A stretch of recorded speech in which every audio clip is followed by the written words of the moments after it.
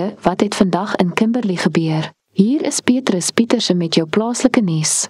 Een persoon is vanoggend in 'n botsing oorlede wat op die 12 ongeveer 4 km buite Warrenton in die rigting van Kimberley plaasgevind het.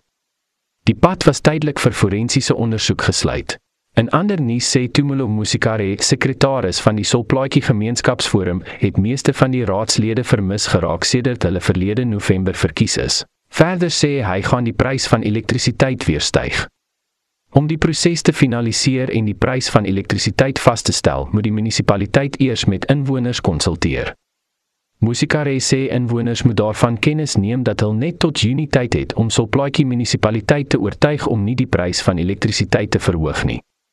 Sien die volledige video van Musikare wat dit goed verduidelik. Dit terwyl Kagiso Sonjuni, die uitvoerende burgemeester van die Solplaatjie munisipaliteit, vandag met amptenare van die nasionale finansiële hulpskema vir studente vergader het om toesig te hou oor die werk wat deur die munisipaliteit gedoen word om universiteits- en kollegestudente te help in hul aansoekproses vir studentebefondsing. Sommige dele van die stad het kragonderbrekings ervaar as gevolg van 'n skakelaar wat by die hulsubstasie wat afgeskop het. Elektriesiëns het aandag aan die probleem gegee.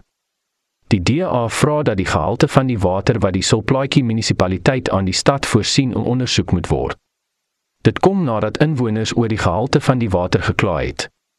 En dit is al die hooftreke wat ek vandag vir jou het. Terug na jou Bernelia. Dankie Petrus.